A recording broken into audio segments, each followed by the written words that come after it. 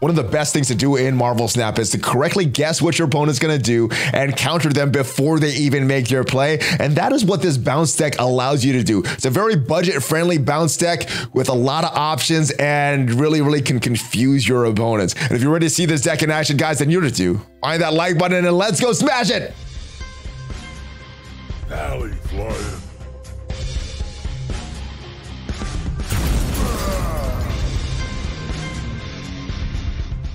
Hello, Marvel Snap fans. Welcome back to the Valley Snap channel. I'm Valley Flyin. Hope you're having a great day. We're featuring a fun bounce deck in this video. And if this is your first time here, we do a lot of deck ideas. We do some gameplay. We do some news, everything to help your Marvel Snap experience. And if you haven't already subscribed, hit that subscribe button for more great Marvel Snap content. But let's get right into this deck. Very fun deck and bounce decks usually based around two cards, either Falcon or Beast. I don't like Falcon yet, but Beast is a great card. On reveal, return your other cards to this location uh, to your hand, and they cost one less. Now, unlike the nerfs to Quinjet, these cards can cost zero, so you can throw a bunch of zero cost cards in the hand. Now, this is the deck in its entirety. We features Hood here, which is a card that's gonna get some, uh, get that uh, Demon in our hand, which is a 1-6 card. And if we bounce both the hood and demon, well, we could potentially have two demons in hand, one of them costing zero if we bounce that with beast. We also have Agent 13, another card that could get another card in our hand. We could bounce this to get even more cards. Quinjet is great. Cards that didn't start in your uh, deck cost one less, but there is a minimum of one. Collector is also great in this deck because when a card enters your hand anywhere from your deck, like a lot of these cards are going to do, he's going to get an additional power, especially if we're bouncing a lot of these cards like Hood, Agent 13, Cable, Maria Hill, Agent Coulson, White Queen, all of them pull other cards from our uh, from not in our hands. So that collector, very very uh, good card there. All right, we also have Cable in this hand, which, like White Queen, gives us some intel on our opponent. So, kind of seeing what our opponent has in their hand can give us some intel of what kind of deck they're playing. Maria Hill got a lot weaker. This deck was a lot stronger before Quinjet got his nerf, but Maria Hill is still a great card. And the thing I like about this, we're getting a lot of random cards here from Agent Coulson and Maria Hill and Agent 13, which means that we could play a lot of unique cards that our opponents aren't expecting in this kind of deck. So this is probably a great deck if you're playing battle mode as well. Agent Coulson is one of my most fun cards in this deck because there's a lot of great four cost cards, a lot of great five cost cards. Agent Coulson gives you some random ones, and they're usually some good cards, and hopefully could give you a win condition that uh, you didn't have before this deck arrived. All right. We need Shang-Chi in this deck to counter any big red skulls that aren't hidden behind an armor, hidden behind a Cosmo. Usually they are, but sometimes people forget about Shang-Chi and uh, leave some cards unprotected. Usually not those Shuri decks because uh, this this deck actually does not do well against those Shuri decks. It doesn't have enough power to compete. But our big power is coming from Devil Dinosaur here and all the cards in our hand. Hopefully, all those cards we pulled a bunch of extra cards, and we have a loaded hand at the end, and we can have a very very strong Devil Dinosaur. We also have She-Hulk here in case we don't draw a lot of cards we want. It's going to cost one less for every energy that is unspent. So yeah, very very fun archetype with Beast guys. There's a lot of other substitutions you can make if you don't have some of these cards, but I think the necessary cards here obviously are Beast. You want a Devil Dinosaur, and personally, I like that Agent Coulson, Maria Hill and Agent 13 combo because you don't know what cards you're going to get, and neither does your opponent, and that's a great thing. Uh, obviously, one of the strategies here is filling up a lane, making our opponent commit to that lane, and moving all the cards to a different lane. So, a lot of fun strategies here, but let's go see this deck in action so you know how to pilot it. All right, here we go. We have a Quinjet for turn one. Just gonna transform into one of the other locations. Hopefully we're gonna get screwed with a bad location. We go Quinjet right on Mirror Dimension there. Hopefully there's no rogue or enchantress that can take that away. All right, Space Throne. We have to be careful of that Space Throne. Gonna go with a Maria Hill there. We'll get a one cost card. It won't be a free card. That uh, Maria Hill did get hit from that. Uh, did get hit from that nerf to uh, Quinjet. All right, so we can protect our Space Throne here with Nightcrawler and not going to be able to do anything on miniaturized lab. I don't know if it's worth throwing down a cable right now. Very, very limited location. Yeah, we're going to wait on this cable. Not doesn't seem to benefit us with our very limited options as far as where to go. Oh, they're going Wolverine, so probably some... Oh my goodness. what a bad location here. All right. Uh, are they to Galactus now?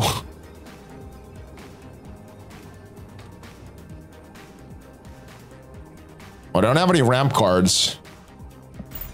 Let's see what they got up their sleeve. Nothing up their sleeve yet.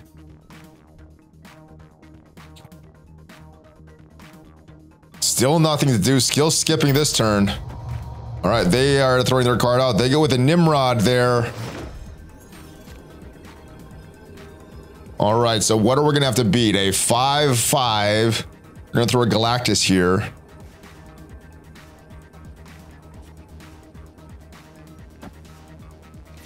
we go with the Devil Dinosaur.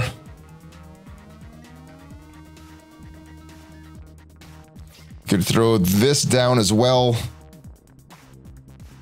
And that's gonna be about it. See what what we have. There there comes their Galactus. They'll get 10. I think it's it's gonna be close. Of 10 and 14, so plus the two. Oh no, not even 10, just a five. It didn't get a double Nimrod. We get a big, massive win here. Nice. It's not a close as thought. Even if they got a double Nimrod, we still had the victory. Just too much power from our Devil Dinosaur. All right, we got a Quinjet Cable Hood combo on turn one. Baxter building the location on the far left. Let's go Quinjet on the far right and potentially getting a hood cable. And if we get beast, that would be great for us as well. Lemuria, no cards are revealed this turn. We'll go with our cable here. We'll get some intel next turn from them. Also have the option to hood and... Will we draw the beast? What is our next card here? Random three cost card is... Oh, we get the new card. Let's see what they're running. Let's hold off on that Negasonic. Let's go with Maria Hill and Hood. This would be a great location to beast. We don't have a lot of power there. All right, so they're protecting that sunspot. Are they running some kind of She-Hulk deck? All right, so we get a get a Wong. So they are running some type of deck with that relies on on uh, on reveal. All right, so where do we go? They have the tempo. We want to try to take that tempo back if possible. Let's let's put this White Queen here, getting even more of their cards. We're gonna they're gonna throw their Wong. All right, they go with a Jubilee. And they get an Iceman. All right. Good for us. Are they going to go at a different location? There's a Doctor Doom from them. They have that Doctor Doom in hand. We got an option for a Wong. We could use some of their cards against them. And we could go for a big high play of Agent 13. Doctor Doom on the final turn. Although, let's go, let's go with Negasonic here. We don't plan to play any cards there, but if they play something there, oh no, they go with Spider-Woman. So they're not going to use their Wong. Are they going to use their Doctor Doom? So a little too late for this beast to show up. Wong, uh, Doctor Doom on top of Wong will get us 10 power here. They could have that Baxter building. We know they have a Doom. We know they have a Wong. I think we go here. Probably not wanting to go in the middle with that Negasonic there. Only question, are we going to get enough power from Camp Lehigh? We'll have five there. It could throw something big down, but it's not going to get them Lemuria. I don't want to throw this Yondu or anybody on top of that Lemuria. Let's go with this. We'll get 10 power in Lemuria. What do they throw down? How much power do they have at Camp Lehigh? They go with their Doctor Doom. They get one Doom. We get two. We get the win. All right, we have Muir Island. We want to get as many points out as possible. So let's go Quinjet now. And we got our Maria Hills. We got our Agent 13s.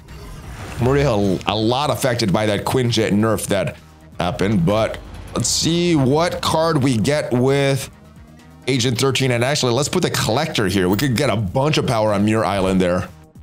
The cards that we are running. They're going armor there. Are they running a Shuri deck? What are they trying to protect? Obviously, don't want those Vibraniums on their hand.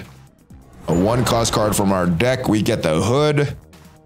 Do I run the Agent 13? I think we go to safe route. We go Agent 13, Maria Hill. We don't want to play them for the get those vibraniums in our deck.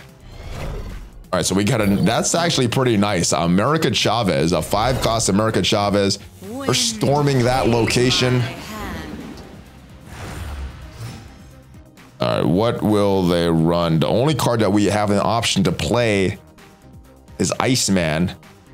Not the best card to play, and I guess what we could do is uh, we'll, we'll get a little bit more power with our hood, and we'll power up that collector a little bit. Hopefully, by the time this is done, it's not a zero. Uh, it's a zero or better powered hood. Yeah, it's actually, it'll be got two more turns. It'll be a zero powered hood. All right, they are gonna win that flooded location. Are we gonna get a Thinking maybe a Doctor Doom and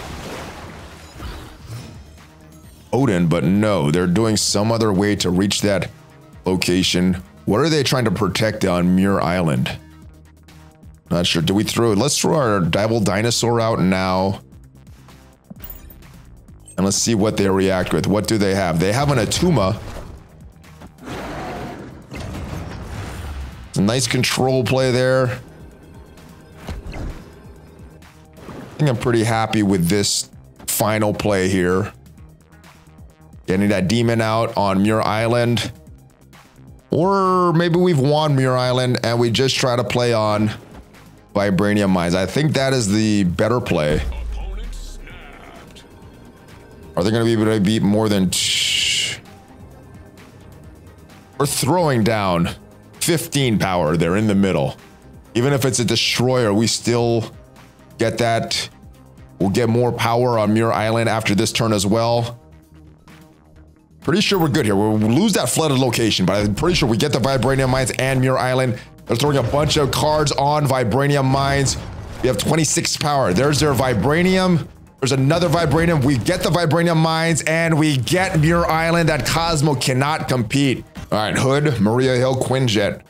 Turn one. Oh, and we get some zero cost cards. I like this. So we could actually run Hood and run Quinjet in a different lane, and we'll run Maria Hill in this Elysium lane. This is what we would want to pick up, this left lane, if we do draw that beast. Have even more cards. Um, although with Elysium and our lot of one-cost cards, it may not make too much of a difference. Uh, we could go Mantis. I think we just throw down Mantis at this point I want to save this demon for a little bit. We could go White Queen, get some intel next turn. Are they going to play at Hala? Try to win that location? Try to not get it destroyed? No, they don't. All right, so we get some cards there. That is nice for our Devil Dinosaur. Oh, but the Quinjet. All right. We don't get all that extra energy. Let's get a White Queen. And since we already have something in at least do I want to run this now or do I want to run this later? I want more cards. We also have the option to do this later, but it may be a great card. So let's run this, put this now and take our chances of what Agent 13 is going to give us. Is it going to be something big or something small? What are they running?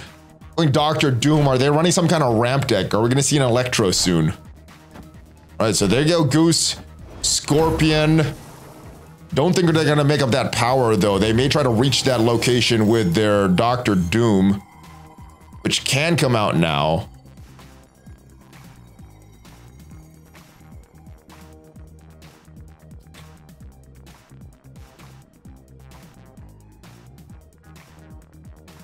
I like the Beast play. Taking that Maria Hill out and or we could go white queen again and take all these cards out, get our beast destroyed. Which would be the better play there? Where are they going to play? Let's see if we could figure out what they're going to do. They're probably running their Doctor Doom now.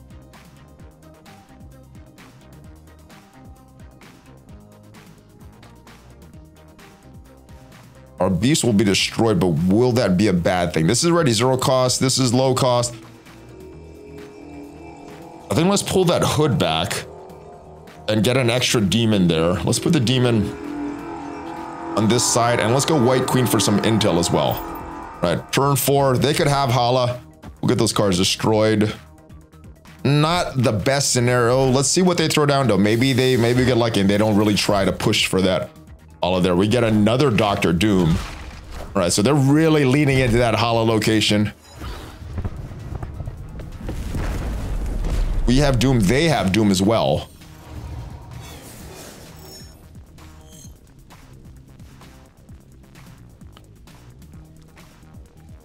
Option to Shang-Chi that thing. We get our She-Hulk out.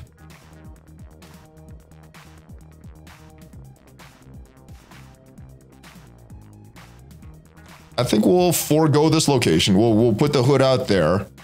We'll get another demon out on our hand. We'll want to run another Maria Hill. At this point we could throw down She-Hulk. We could run Maria Hill later. All right, let's see what they do on Elysium. They go Doctor Doom and an Iceman. Question is, will they try to... No, they won't Odin that.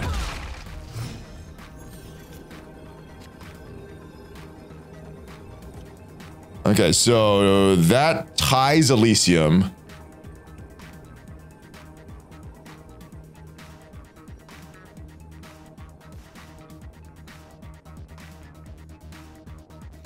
This probably wins Superflow. Let's go there. And Maria Hill throwing that out to get a little extra power in that Devil Dinosaur.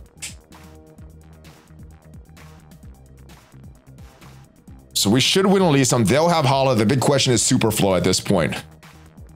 See what happens. Let's see what they're playing. They go all super flow. They know we're trying for super flow. They get the three points from Wave. They get the Shang-Chi out there just looking for tempo. We get Elysium. And those three points from Maria Hill does it on the super flow. So we get the left, we get the right. They could have the middle. So that is this deck in action, guys. It does have some weaknesses. It can't really compete with the power of like a Shuri deck or some of these high powered decks. This is more about control and faking out your opponents, but very, very fun, especially with these random cards coming into your deck that you don't know what kind of deck you're going to have. Neither does your opponent, and I love that. But let me know what you think of this deck. Let me know what you think of this archetype. Have a great rest of your day. If you haven't already checked me out on social media, check me out on social media. Check out some of the other videos on this channel. We got a lot of the other decks. We got a lot of other news, a lot of other tips to help your Marvel Snap experience. I will see you guys next time. Have a great rest of your day, guys. Hulk Fist Bump Valley Flyin out.